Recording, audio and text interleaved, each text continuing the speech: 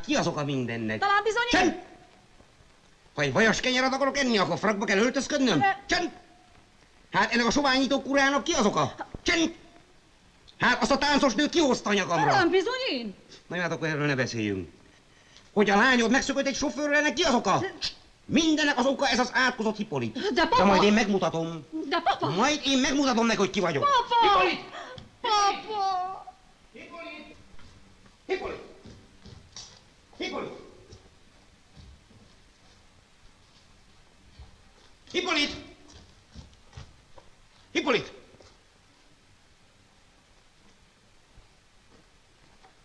Hol vannak a vendégek? Elmentek. Miért? Miért? Hippolit. Hol az a Hippolit? Már kerestem, nem találom. Hozd ide, megölöm, megölöm! Akkor megtalálom.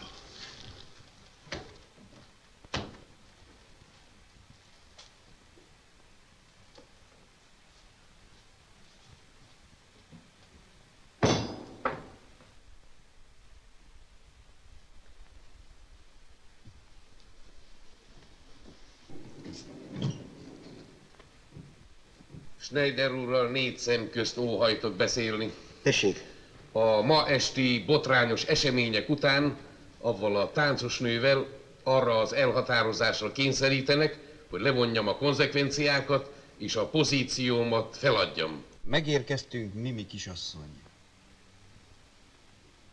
Most csodálkozik, ugye? Borzasztóan. Egész le vagyok sújtva. Hiszen maga a szerelmét akarta hazavinni. Ez igaz? Na de most keresztül húztam a számítását. Ahogy vesszük.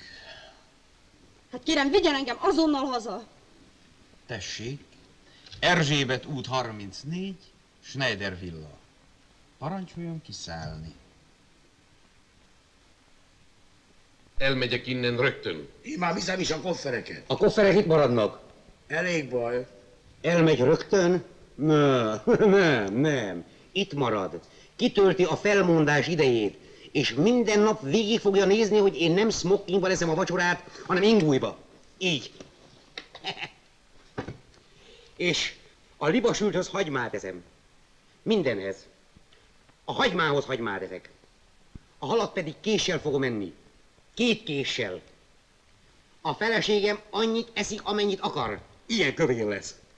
Én pedig megint bajuszt növeztek. Ekkora bajuszt.